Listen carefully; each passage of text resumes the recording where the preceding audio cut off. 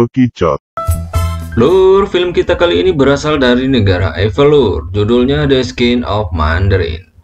Itu judul dalam bahasa Inggrisnya, namun judul dalam bahasa Prancisnya disebut dengan El Audio de la Mandarin. Ini film dirilis pada tahun 2015. Saat itu film ini diputar di Festival du Film France Confond de Angoulême pada 27 Agustus 2015 dan film ini juga diputar di Amerika pada 10 Juni 2016 saat Seattle International Film Festival.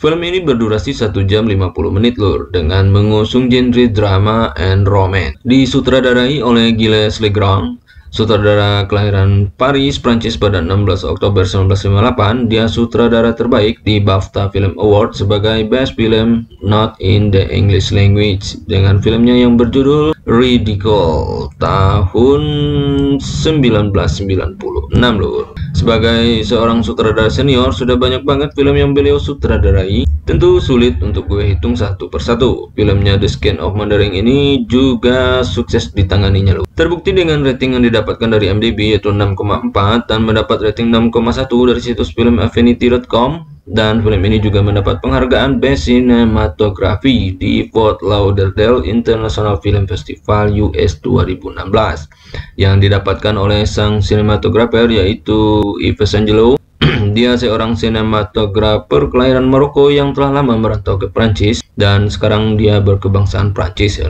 Film ini menceritakan kehidupan rumah tangga seorang komandan tentara yang cacat kakinya setelah ikut terjun ke medan perang saat Perang Dunia Pertama lur. Untuk keuntungan film ini juga terbilang untung lur dengan laba bersih yang mereka dapatkan per 2016 sebesar 300.076 US dollar. Istilahnya terbilang dua kali lipat dari modalnya lur. So, mari kita langsung aja masuk ke rangkuman ceritanya dan siapkan perkakas yang diperlukan lur, bantal kopi dan urut kalian taruh di tempat yang tepat. Bekicot.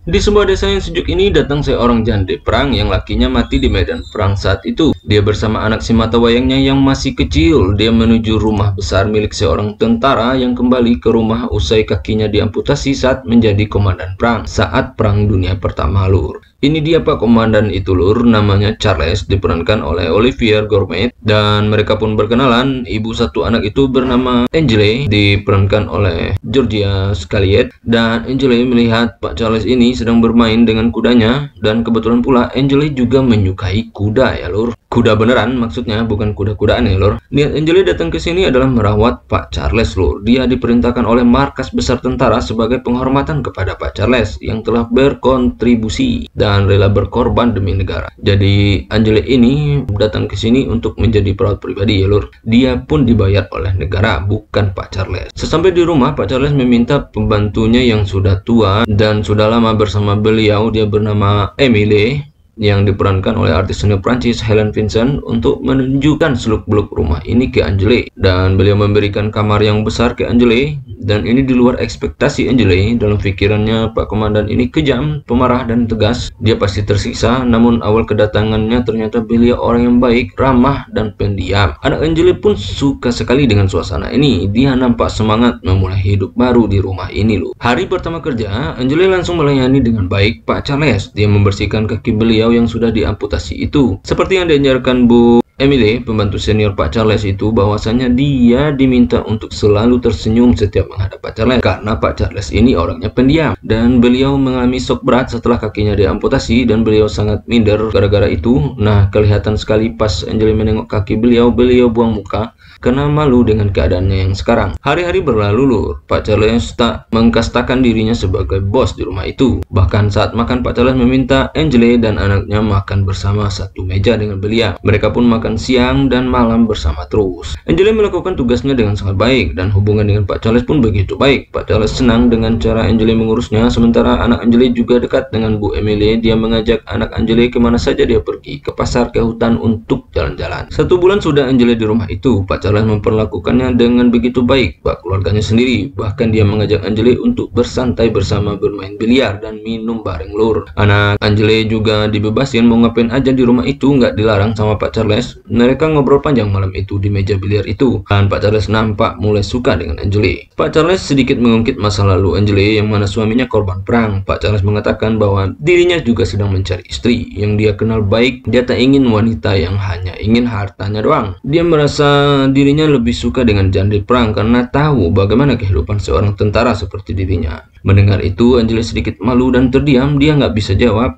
Angeli mencoba mengalihkan suasana dengan mengajak beliau main biliar lagi. Dan tak lama kemudian dia pun pamit bobok duluan. Angeli nampak tertarik dengan guyonan Pak Charles itu. Esok harinya dia menemani Pak Charles menunggangi kuda lur. Dan lanjut hari berikutnya mereka jalan bersama-sama pergi berburu ke hutan. Dan beliau mengajarkan Angeli menembak. Dan mereka nampak begitu akrab. Sekilas mereka terlihat seperti sepasang kekasih lur. Setelah enam bulan bersama, tak ada lagi kecanggungan pada Angele. Dia nampak santai dengan Pak Charles, bahkan mereka ngudut bersama sambil main biliar. Angeli kalau dia tak lagi sebagai pribadinya Pak Charles lebih ke seperti istrinya ya loh. Mereka melakukan apa pun bersama-sama. Angeli mengurus kuda setiap paginya dan selalu melepas Pak Charles ke kantor bak melepas lakinya sendiri. Dan satu pagi Pak Charles berdua di kandang kuda bersama Angeli. Beliau membantu Angeli merawat kuda dan di situlah Pak Charles melamar si Angeli lo. Beliau mencoba mencium si Angeli tapi dia nolak.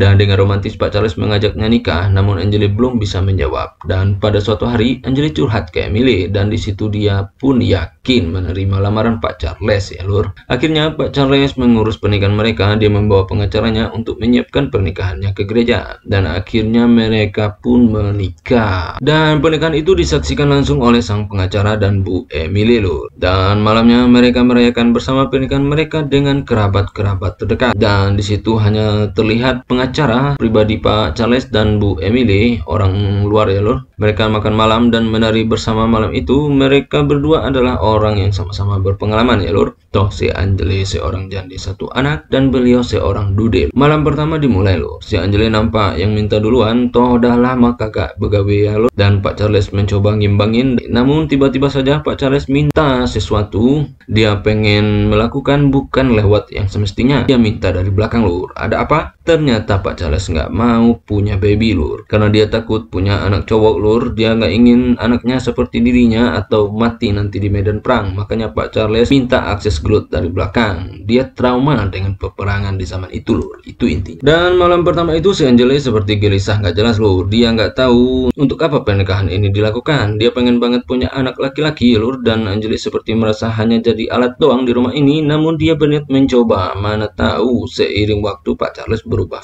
pikiran saat Anjali lagi sedang rapi-rapi dan Pak Charles lagi mandi, tiba-tiba saja dari luar terdengar suara teriakan memanggil Pak Charles dan Anjali pun langsung keluar rumah melihat siapa itu. Dan ternyata seorang prajurit. Anjali langsung menanyakan ada apa gerangannya. Sang prajurit tersebut ternyata membawakan seekor kuda pesanan Pak Charles loh. Dan itu kuda bagus sekali hasil buruannya dan kudanya masih liar banget dan Pak Charles minta si prajurit tersebut untuk menjinakkan kuda itu. Berarti si prajurit harus tinggal di rumah Pak Charles Elur dan Angeli nggak tahu kalau sang prajurit akan tinggal di rumah mereka. Dia pikir dia hanya mengantar kuda saja. Nah Angeli melihat dari rumah dia harap-harap cemas apakah prajurit itu orang baik atau bagaimana. Dia takut lakinya diapa-apain lur dan paginya saat sarapan, Pak Charles mengatakan bahwa kuda semalam itu untuk Angeli. Angeli nampak bahagia banget, sudah lama dia menginginkan kuda seperti itu, dia meminta Angeli pergi ke kandang kuda untuk melihatnya. Apakah Angeli suka? Dan dia mengatakan anak buahnya yang semalam ada di sana untuk menjinakkan kuda itu.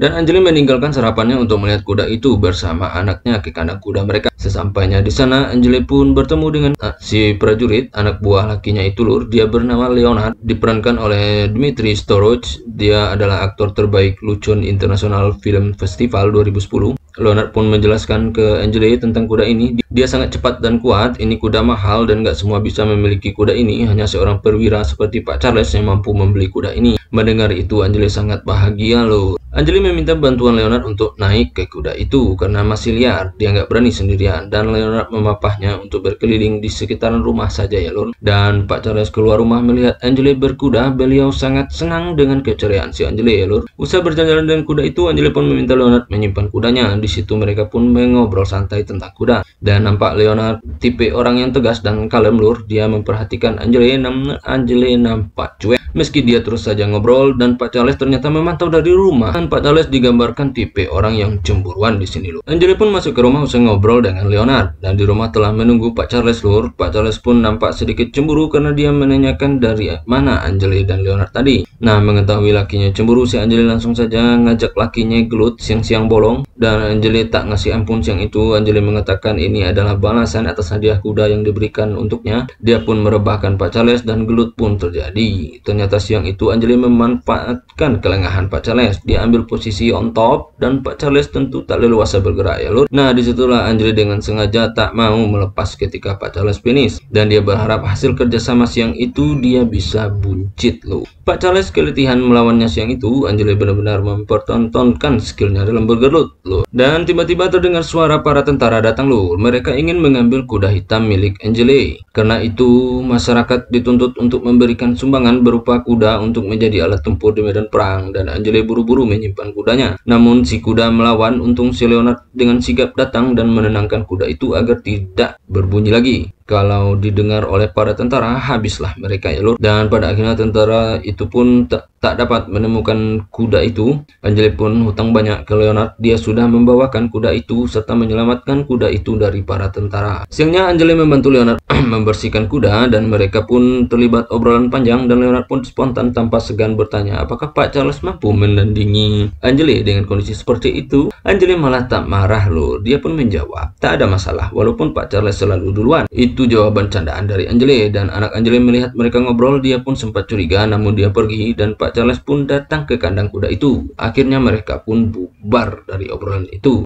Malam itu usai menina bobokkan anaknya tiba-tiba saja Angele murung entah kenapa ini terjadi. Dia bingung dan dia pun kembali ke kamar dan dia langsung minta ke Pak Charles. Padahal baru aja kemarin Pak Charles bingung kok Angele mau terus. Baru saja kemarin mereka kelut dan mau gak mau Pak Charles meladeninya. Namun malam itu Angele benar-benar kecewa lur. Pak Charles nggak mau dengan posisi normal dengan alasan klasik namun Anjali maunya normal-normal aja akhirnya merajuk Anjali pun pergi keluar kamar dia melihat keluar rumah dengan tatapan kosong esok hari Anjali pergi ke hutan. Dia melampiaskan amarahnya gara-gara tadi malam nggak bisa gelut bebas. Dia melihat binatang liar di hutan dengan kuda hitamnya itu. Saat pulang dia telah disambut oleh Leonard dengan lakinya di pintu rumah. Dan tiba-tiba saja Pak Charles dengan amarahnya pulang mengambil kuda itu. Karena si Anjali pergi tanpa pamit darinya. Dia marah. Dengan cara paksa dia pun mencoba untuk menunggangi kuda Angeli, namun kuda itu tak mau ditunggangi dengan amarah. Pak Charles pun terjatuh dari kuda itu. Dengan sigap Leonard menenangkan kuda itu dan Pak Charles sama sekali nggak mau dibantu ya Lord. Beliau pun akhirnya masuk ke rumah dengan dibantu oleh Emily si pembantunya itu. Dan esok malamnya saat makan malam tiba-tiba saja Angeli membawa sebuah hadiah untuk Pak Charles dan ternyata itu adalah kaki palsu. Namun Pak Charles terlihat tak suka. Dia malah merasa terhina dengan pemberian Angeli dan beliau sama sekali tak mau mencobanya. Pak Charles pergi dari meja makan. Dan Angeli benar-benar habis kesabaran dengan Pak Charles. Dia berusaha selalu mengalah, namun Pak Charles selalu egois. Angeli pun akhirnya menyusul Pak Charles ke kamar dan dia mencoba memberi pengertian ke Pak Charles bahwasanya apa yang dilakukannya itu lebih sebagai bentuk cintanya ke Pak Charles, bukannya mau meremehkan Pak Charles.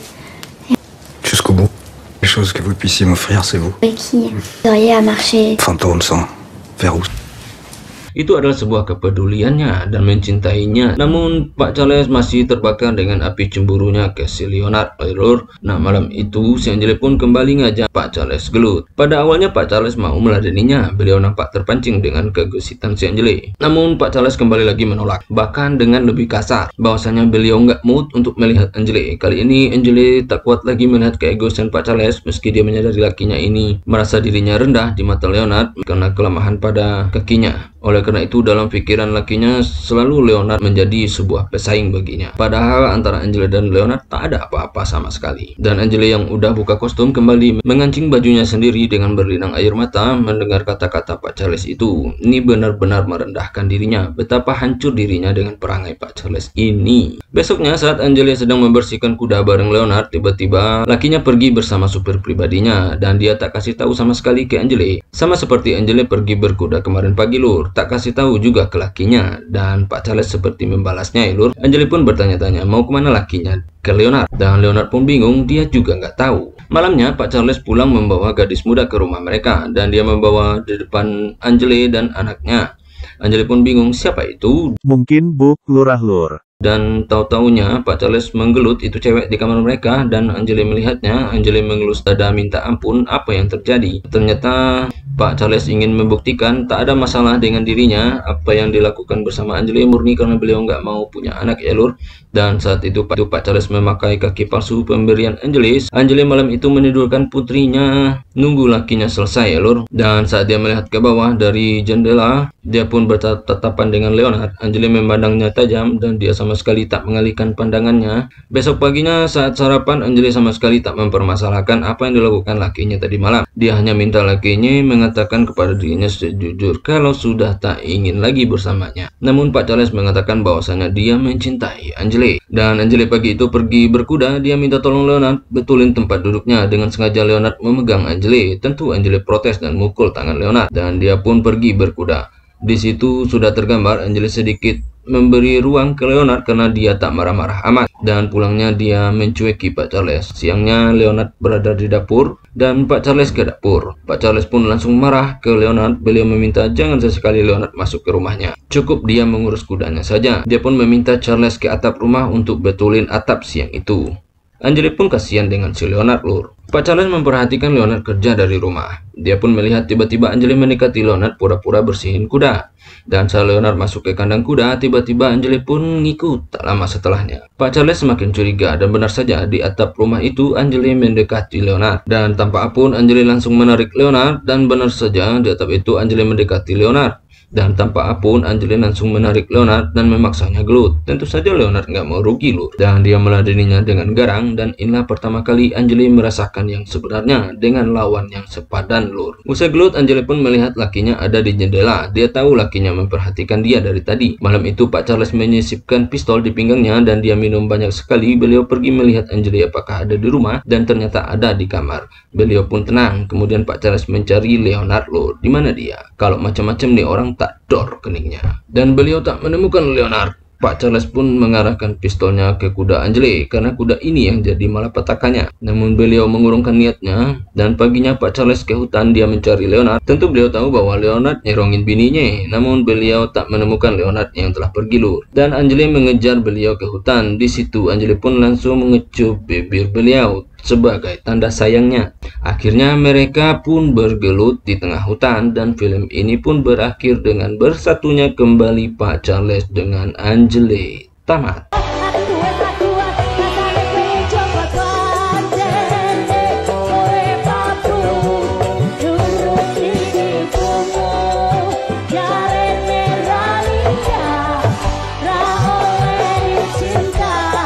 Film yang menarik ya lur, alur yang tenang, dingin, santai namun sangat berbahaya. Dengan lembut terurai hingga akhirnya cerita film ini memberi puncak klimak dengan Angeli benar-benar mengkhianati Pak Charles padahal dia nggak pernah berniat seperti ini. Namun karena terus dicurigai dan dikhianati terus disakiti dia pun melakukannya intinya itu semua bukan dari hatinya Angeli benar-benar cerita yang sangat alon dan untuk Olivier Gourmet yang memerankan Pak Charles sebagai veteran perang yang hebat Beliau menampilkan akting yang sangat baik dan sangat keren lur. Sebenarnya pujian untuk beliau bukan dari film ini saja lur. Film-film sebelumnya beliau juga sudah terkenal dan sukses, memiliki 11 penghargaan aktor terbaik dan puncaknya beliau memenangkan aktor terbaik di Cannes Film Festival 2002 lewat penampilannya sebagai Oliver di film Le Fils 2002. So, tak ada yang perlu dikomentari dari aktingnya. Beliau adalah seorang aktor terbaik Prancis itu sudah pasti ya Lun. Sementara itu untuk penampilan Georgia Scaliat, dia memerankan Angeli, jandi perang satu anak. Dia bukanlah artis besar, dia hanya sebatas artis FTV dan TV series Lur. Tak sebanding dengan Olivier Gourmet, nampak sekali perbedaan kualitas dari cara berakting mereka, namun Georgia Scaliat sudah menampilkan yang terbaik dalam levelnya menurut gue. Dan penampilannya bisa ditekan oleh penampilan baik dari Olivier Gourmet. Dari sisi penampilan secara keseluruhan, film ini sudah sangat-sangat keren dengan visual vintage-nya disesuaikan dengan kostum dan rumah klasik milik Pak Charles benar-benar nggak terasa bahwa film ini dibuat di tahun 2015 kita dibuat melayang seperti kembali ke zaman perang dunia ke-1 ya lor teknik kamera dan pengeditannya juga sangat keren membuat semuanya terlihat sangat bagus. Namun film ini memiliki sisi kelemahan juga ya lor yang pertama adalah adanya biliar dalam film ini dan itu meja biliar bukanlah meja biliar yang ada pada tahun 1918 Meja terlihat sangat modern sekali lur. Pada masa itu meja biliarnya seperti ini. Coba perhatikan di filmnya, meja biliarnya terlalu modern untuk cerita-cerita kolosal ya lur. Dan itu kesalahan fatal yang dapat merubah imajinasi penonton yang sudah terbuai dalam ceritanya lur. Sang sutradara Gilles Legrand sebenarnya banyak memainkan suasana alam di film ini dan sekitar rumah Pak Charles doang ceritanya. Dan itu membuat penonton merasa sempit sekali melihat latarnya. Film terasa seperti diedit parah ya lur uh, seperti hemat budget gitu. Tak ada markas tentara, tak ada kafe, tak ada pasar yang ditayangkan di film ini, padahal cakupan ceritanya cukup luas banget. Kedatangan Angelique ke rumah Charles pun tak ditunjukkan gimana dia sampai ke sana, naik ojek kah, naik ontel kah, hanya Om Gilles Leonard dan Tuhanlah yang tahu lur. Oke lur, sampai di sini dulu, sampai jumpa di film lainnya, saatnya gue ciao.